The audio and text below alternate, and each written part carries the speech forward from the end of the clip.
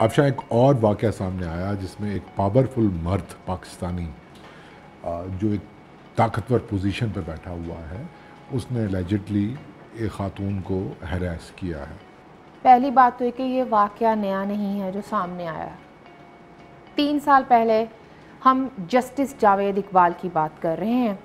तीन साल पहले ख़ातून तयबा गुल ने ये मामला सामने लाने की कोशिश की थी कि उनके साथ किस तरह से नैब में हिरासगी हुई और किस तरह से उनका नंबर एक दरख्वास्त से निकालने के बाद उनसे रबता किया गया और फिर एक विशेष साइकिल शुरू हो गया। उस खातून से रबता किया गया बार बार और अब तो खैर तयबा के इंटरव्यूज़ भी रिकॉर्ड पर आ चुके हैं। हम ज़ाहिर है उसी रोशनी में बात करेंगे। एंड बीइंग अ फेमिनिस्ट मेरा ख्याल है, मेरा ये मानना है कि मुतासरा फ़र्द की बात पर यकीन करना चाहिए। ना कि विक्टम ब्लेमिंग शुरू कर देनी चाहिए। तीन साल पहले जब यह वाक़ सामने आया, उस वक्त की अपोजिशन जो अब हुकूमत में है, उन्होंने, सब जमातों ने ये कहा कि ये जस्टिस जावेद इकबाल का पर्सनल मैटर है। हम खवातीन तब भी रोती पिटती रहीं कि ये पर्सनल मैटर कैसे है? एक शख्स जो अपनी पावर जो अपनी पोजीशन का फ़ायदा उठाकर किसी भी औरत को एक्सप्लाइट करता है सेक्सुअली हरेस करता है, उसके ऊपर झूठे मुकदमात की बारिश करवा रहा है जस्ट कि वो ब्लैकमेल हो जाए और जो वो चाह रहा है उसके अज़ाइम कामयाब हो जाएँ। ये उसका पर्सनल मैटर कैसे है? एक ऐसा अहदा एक ऐसी पोजीशन जो रियासत पाकिस्तान ने उसको दी थी। लेकिन तब किसी ने नहीं सुना। अहदा ज़ाती मामला है। और उसके बाद अचानक से उस शख्स को आ, किसी ने नहीं सोचा कि उसकी नैब कवानीन में एक तरमीम हुई उसकी मुद्दत में तोसी होगी ए किमें होया? ए हूँ पता लग रहा है ना कि उस सिटीज़न पोर्टल के उत्ते मुतासरा औरत ने अपनी शिकायत की है उसको बकौल तैयबा गुल के उन, उनका जो बयान सामने आया है कि उन्हें पीएम हाउस में बुलवाया गया और वो यूएसबी जिसमें सारे सबूत थे वो उनसे हथियाली गई और 45 रोज़ तक उन्हें पीएम हाउस में जरगमाल बनाकर रखा गया और उन्हीं सबूतों की बुनियाद के ऊपर फिर जस्टिस जावेद इकबाल को ब्लैकमेल करके नैब को सियासी जमातों सियासी मुखालफी के ख़िलाफ़ एक पॉलिटिकल इंजीनियरिंग का टूल बना लिया गया। अच्छा ये तो आप बात कर रही है ना बस मेरी आखिरी बात है इस हवाले से अगर बहुत लंबी तकरीर हो सकती है। ये मुनसिफ था इनकी करतूतों के पलंदे अगर इमरान खान के पास जाते हैं जो खुद को जो कहते थे कि वज़ीर आज़म रियासत का बाप होता है। वज़ीर आज़म कौम का बाप होता है। और सिर्फ़ रियासत नहीं रियासत मदीना बनाने के दावेदार थे। और वो बाप लगा हुआ था यहाँ पे अपने वालों यहाँ पर एक औरत अपना मुकदमा उसके पास लेके जाती है तो उन्होंने क्या किया? उन्होंने अपनी वो दो टके की अना की तस्कीन के लिए सियासी मुखालफी के उन्होंने कहा ओ मेरे हाथ बटेरा आ गया मैं तो उन्होंने ब्लैकमेल करके जो चाहवा करा सकना वा। तो आप कैसे कह सकते हैं कि इमरान खान को इस चीज़ से अलग रखें? वो प्राइम मिनिस्टर लगा हुआ था यहाँ पे। और काशी साहब ये बात एक विक्टम के बयान का हिस्सा है ये तमाम मामला। और ये सिर्फ़ एक विक्टम नहीं है आमना मसूद जंजुआ ने अभी इसी हफ़्ते बताया कि एक पश्तून खातून उस जबरी गुम गुमशुदगियों के कमीशन के सामने पेश होती है कि उसका शौहर गुमशुदा है लापता है और उसको ये कहा जाता है कि तुम इतनी खूबसूरत हो तुम्हें शौहर की क्या ज़रूरत? ये क्या चल रहा है इस मुल्क में? ये हाई प्रोफ़ाइल केस बन गया।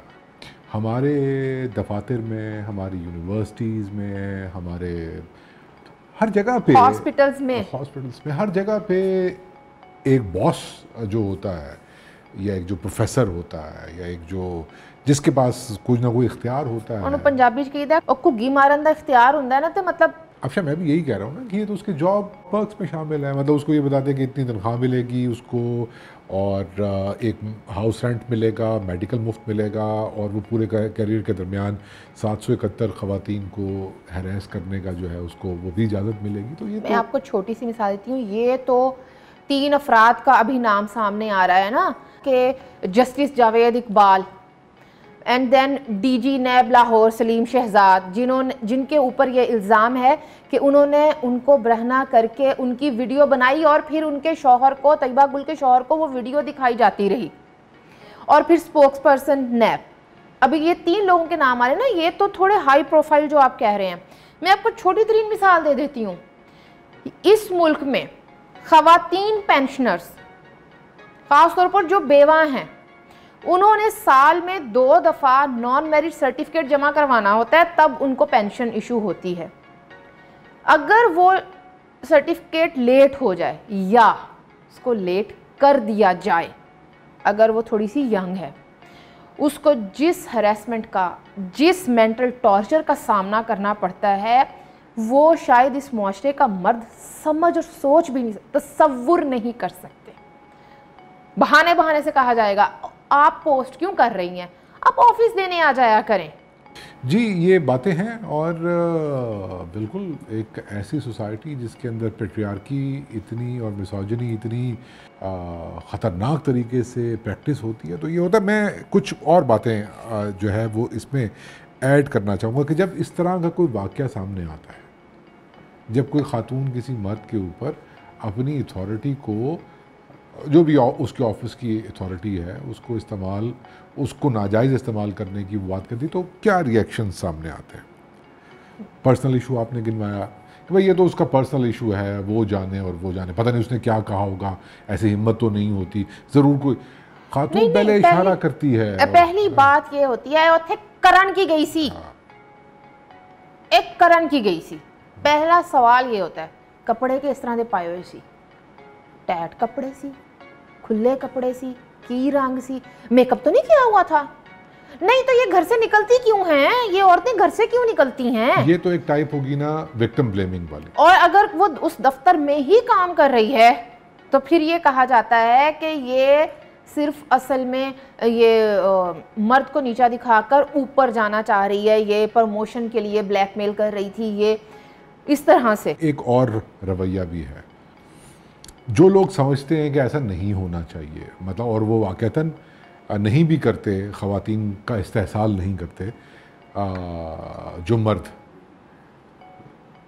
वैसे ये मैंने बहुत बड़ी स्टेटमेंट दे दी है सोचना पड़ेगा वो कौन से मर्द होते हैं लेकिन बार जो मर्द होते हैं और जिनको अपनी मर्दानगी का मान होता है ये पैकेज साथ में ही आता है लेकिन आ, मैंने देखा कि जो मोतदिल लोग हैं जो थोड़ी समझ रखने वाले जिनकी हमदर्दी है इस इशू की तरफ़, और उनको पता है कि ज़्यादती हो रही है ख़ातून के साथ तो फिर वो अपॉलोजी वाला रवैया ले आते हैं। वो अब ये जस्टिस जावेद इकबाल के हवाले से लोग फक्कड़पन पर उतर आते हैं। और मुझे समझ नहीं आती, इतने बड़े बड़े सहाफ़ी होकर आप इस मामले में से ठट्टा कैसे निकाल रहे हैं? मतलब उनकी एज का हवाला दे के, कि इनकी तो इतनी एज है। कभी ये हवाला दे कभी उनके कुश्ते मजूनों के हवाले दे के ये क्या तमाशा चल रहा है आप लोग असल मामला डिस्कस ही नहीं करना चाहते आप लोग असल मसले को ख़त्म करना ही नहीं चाहते इसलिए वो डिस्कस भी नहीं होगा ये तो आपने कहा ना मतलब इसको मजाक में उड़ाने वाली बात है मैं बात कर रहा हूँ अपॉलोजी पेश करने की कि ये भी अपॉलोजी होती है दो तरह की ओदी उम्र ਤੇ ਵੇਖੋ ना और या ये कि ਇਹਨੂੰ आया ही टकरी सी और ਉਹਨੂੰ कमी सी अली ज़फ़र वाले मामले में क्या सबसे ज़्यादा मिसाल सामने आती रही है? ओनू कमी सी जिसके सर पे उस वक्त के वज़ीर आज़म का हाथ था वो एम्बेसडर रहा है। लेकिन इसके साथ एक और रवैया है नहीं काशी साहब हो सकता है कि कल कलाम को जस्टिस जावेद इकबाल को भी सितारा इम्तियाज़ से नवाज़ दिया जाए। हम्म। अच्छा ये एक बात है एक और रवैया।